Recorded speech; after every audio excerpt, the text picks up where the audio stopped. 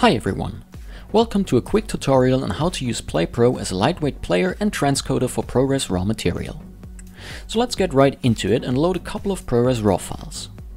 In most cases you want to enable the select folder option here to import a complete folder of clips.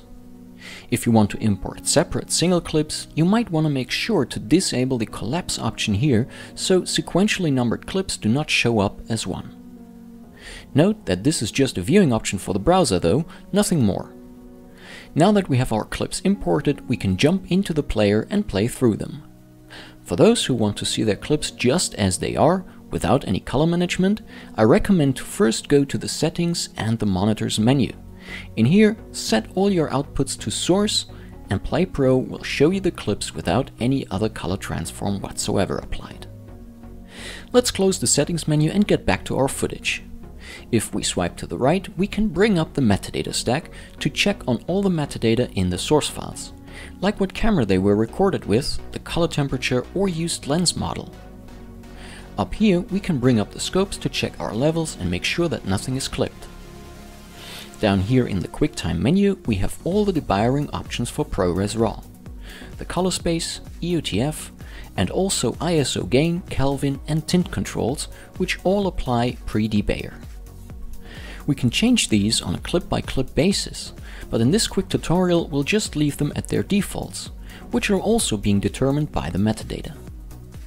The other menus here allow us to dial in framing, color, or load lookup tables if we wanted to burn those into our transcoded clips. In our case, however, we want to render the files as pure as the Atomos Ninja 5 recorded them, so we'll just leave everything as is, switch back to the Construct tab and hit the render button. In here, everything is pretty much as straightforward as it gets. We first select our whole timeline to render, instead of just a selection of clips. Next, and this is very important, we select to render same as source. This means all clips will be rendered at their individual source resolution, frame rate and aspect, even if we have mixed resolutions and such in our timeline. Next, let's choose our export codec. Since we're transcoding for further color grading in VFX, we will go with ProRes 4x4 XQ, which gives the highest level of quality in 12-bit. Note that PlayPro also allows to encode Apple licensed ProRes on Windows. Also, let's not forget to enable all audio channels necessary. Lastly, we set the output folder and make sure that use source name is enabled, so the rendered clips will have the same name as the original ProRes RAW clips. Hit OK and PlayPro will start rendering. We can now go ahead, create more timelines and work on other things while PlayPro renders in the background. Once the render is finished, we can just re-import the rendered files to quickly make sure that all clips got rendered, the metadata is there, and the color is correct. Now what you might encounter is that the metadata we forwarded into the new ProRes files might not get read by the target application that you import them to.